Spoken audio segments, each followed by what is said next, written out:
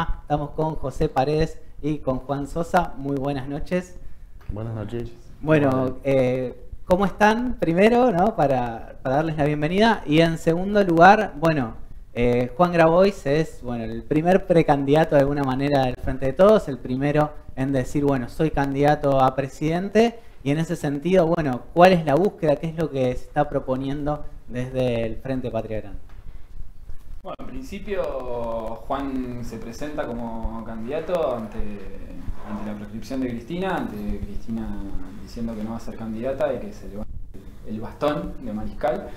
Y en ese sentido, todo lo que se perfila dentro del frente de todos justamente son sectores que no, están representando a, las clases populares, a los sectores más vulnerables, sino que representan a Stalin, ¿no? Massa o o Scioli, bueno, sectores que se, personajes que se van perfilando pero que no terminan tampoco de definirse. Eh, y en ese sentido, bueno, eh, la figura de Juan como, candidato, como representante de, los sectores que menos tienen, de los trabajadores excluidos, de los trabajadores incluidos también, eh, y que, bueno, que busca también ser un candidato que, que es una nueva cara dentro de, de las cuestiones electorales, es un, candidato joven. Eh,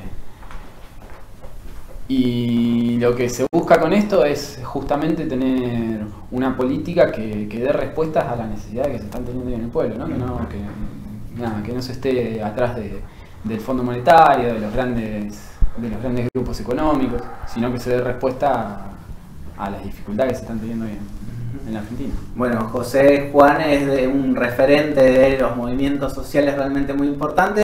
Bueno, vos como miembro del movimiento al que pertenece Juan Grabois, ¿cómo ves eh, esta candidatura? La verdad que bueno, nosotros lo vemos como un compañero que, está levantando, levantando las banderas nuestras desde las bases sociales, un compañero que nos viene acompañando hace un montón de tiempo, un compañero al que nos abrió las puertas cuando el gobierno nos las cerró, digamos. El compañero con nosotros siempre estuvo al pie del cañón, digamos, y nosotros apostando hoy a la candidatura de Juan como un candidato potable para las elecciones, digamos, porque entendemos que es el único candidato que hoy por hoy eh, está hablando de, lo que nos está sucediendo a nosotros.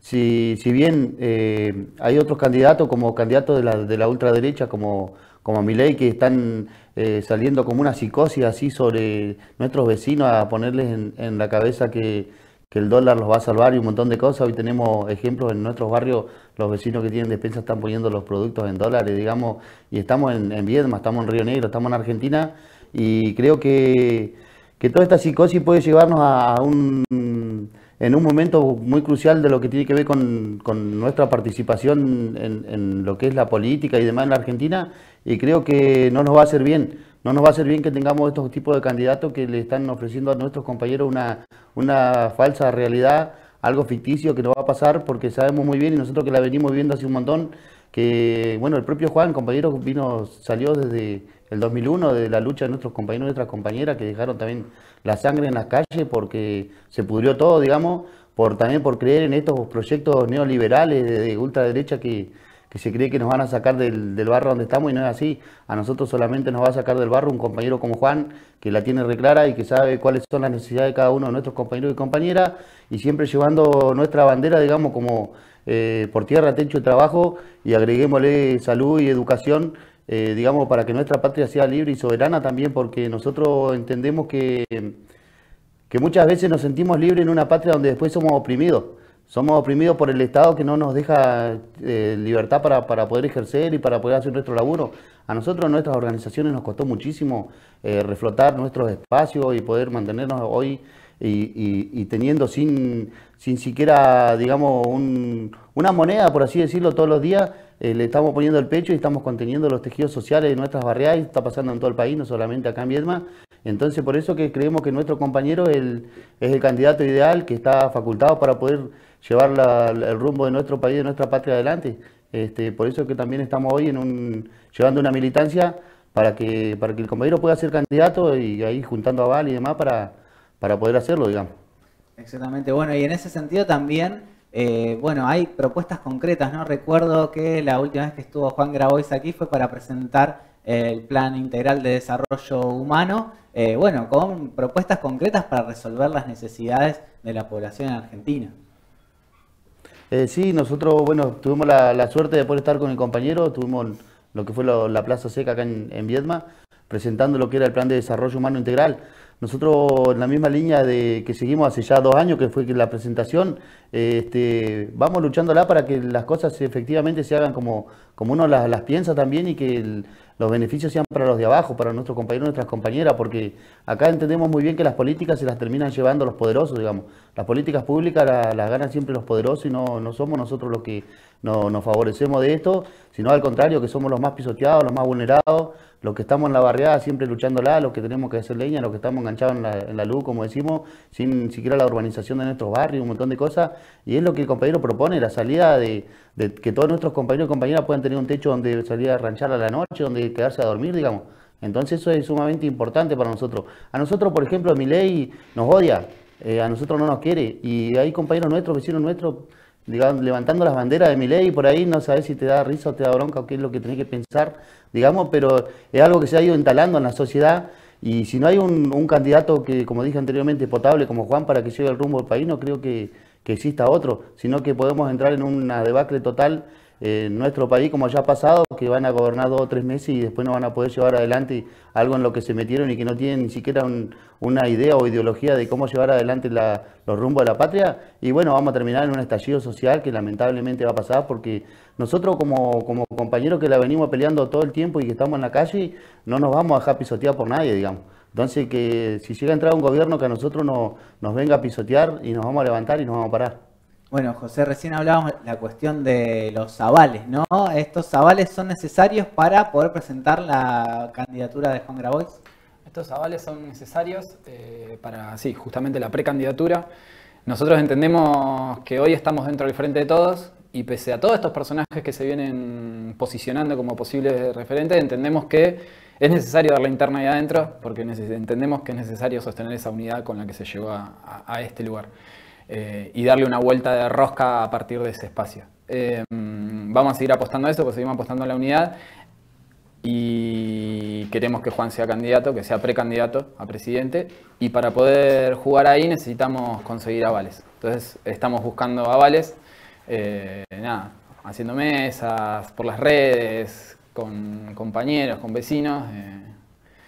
Bien, ¿qué, ¿qué, le dirían, digamos, a los vecinos, vecinos de Viedma, vecinos, vecinas de los barrios para decir, bueno, es importante avalar la, la precandidatura de Juan Grabos? Bueno, por todo esto que venimos diciendo, que decía José hoy, de, esto que tirabas del programa eh, integral, tiene que ver también con cosas que ya se vienen trabajando, ¿no? O sea, son, son proyectos que se vienen impulsando desde hace años, eh, desde este espacio.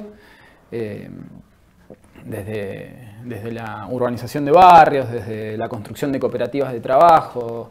Eh, bueno, eh, acá los compañeros de, de, Cotrambi con, la planta creo que es un, gran ejemplo de, estar trabajando digamos, en el basural y hoy poder estar en una planta laburando. esos son, son proyectos de, laburo. Eh, de esto de, cuando hablan se llenan la boca diciendo que hay que cambiar los planes por trabajo. Acá hay un, laburo concreto de cómo se, construye ese trabajo. Eh, la construcción de barrios desde cero, ¿no? conseguir las tierras, construir un barrio, eh, darle, darle la tierra a la gente, darle la posibilidad de construirse su casa, darle la posibilidad de tener trabajo. Esas son cosas que se vienen haciendo, que se vienen construyendo. Eh, y si el compañero que, que, pudo construir todo eso, que empezó a pensar todo eso, puede ser presidente, creo que las cosas se pueden cambiar. Está demostrado que se puede hacer, está demostrado que, no puede seguir habiendo 7 millones de, personas que están trabajando en la informalidad, bajo la línea de pobreza, de indigencia. No puede ser que, haya eh, terrenos eh, ociosos, viviendas vacías por todos lados, alquileres por las nubes y la gente sin casa.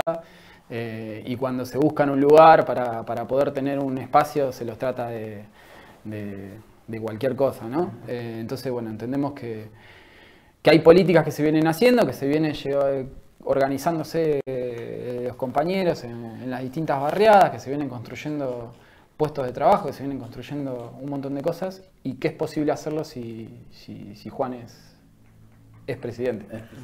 Por ahí para agregar un poquito más lo que dice Juan, justamente, digamos, nosotros desde dos secretarías del Estado Nacional que tenemos con las compañeras Fernanda Miño y Mari Castillo en la Secretaría de Reciclado, digamos, eh, la Secretaría de Reciclado pudo hoy contener a más de 150.000 cartoneros de todo el país, digamos.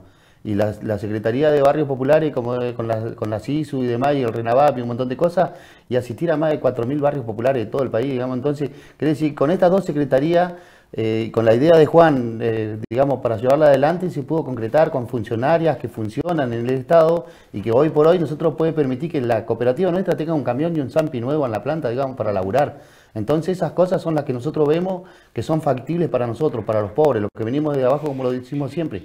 Si no tenemos compañeros de esta de esta talla en el gobierno y nosotros lo vamos a tener que seguir peleando y años y años y no lo vamos a lograr, digamos, porque, o sea, vamos a lograr obviamente las luchas que llevamos adelante y las reivindicaciones que tenemos, pero nos cuesta sudor y lágrimas hacerlo también. Y también entendiendo que podemos tener un compañero que puede llegar al Estado y que desde el Estado arrimar herramientas para las organizaciones, para los vecinos y las vecinas de los barrios, porque hoy estamos hablando de que las organizaciones que estamos organizadas dentro de los movimientos tenemos, digamos, un poco de, de beneficio y estamos un poco más por arriba de los compañeros los vecinos que están en las barriadas hoy, que no están organizados y que están viviendo bajo cuatro chapas, ahí entre una casilla de madera, entre nylon y, chapa y cartón y lo que sea, digamos, y, nosotros lo estamos viendo. Y esos vecinos y esas vecinas hoy no están contenidos por el Estado, ni siquiera están tampoco dentro de las organizaciones, o por, vaya a saber por una u otra cosa, y esos vecinos no están contenidos. Y que el Estado pueda llegar a esos vecinos es sumamente eh, prioritario, digamos. Nosotros vivimos en los barrios donde se está enganchado la luz, donde no se tiene cloaca, donde hay que hacer leña todos los días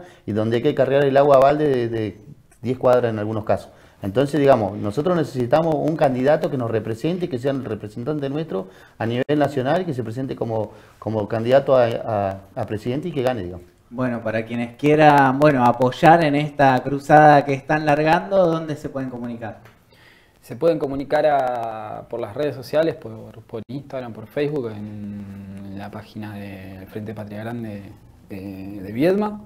Eh, y si no, bueno, por, por, teléfono eh, al 2920 219696 y bueno, y ahí charlamos de agregar la comunidad, tenemos estamos conformando una comunidad cambiando como en todo el territorio nacional, donde hay distintas comunidades donde vamos trabajando esta campaña y, y bueno, haciendo distintas actividades, así que bueno. cualquier aporte siempre suma. Bueno, buenísimo. ¿Algo más, José? Nada, invitarlos a ser parte de, este cambio, un compañero nuevo que viene con, con nuevas ideas, con políticas nuevas, con políticas revolucionarias que son las que nos van a sacar adelante, es lo que nosotros al menos creemos y entendemos de la política y que más que nada lo haga un compañero nuestro, digamos, con todo el apoyo de, de la militancia y de lo que podamos dar nosotros.